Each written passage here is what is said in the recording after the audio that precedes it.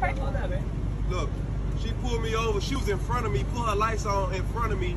They profiled me at the store. When I came down, they plotted on me till I came down. Till I came down the street, she put her lights on before I even. She even saw my tag. Got behind me. She was already in pursuit of me when she hit the turn.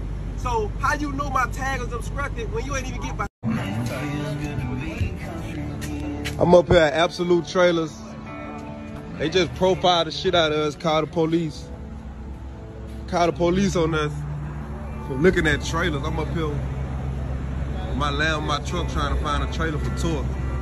And they called the police on us just for looking at trailers, talking about they had a, a, a bad run in last week. Us out of everybody, the black people out of everybody. That's crazy, bro.